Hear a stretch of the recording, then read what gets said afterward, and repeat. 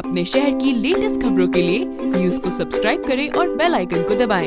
Election commission ने जो dates announce की हैं, उसमें छह, बारह और उन्नीस को भी वोट डालने का ऐलान किया गया है, जबकि पाँच मई को रमज़ान मुबारक का चाँद देखा जाएगा। अगर चाँद हो जाता है तो छह से रमज़ान का मुबारक महीना शुरू हो जाएगा।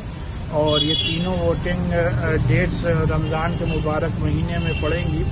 जिससे कि मुसलमानों को गैर मामूली परेशानी का सामना करना पड़ेगा।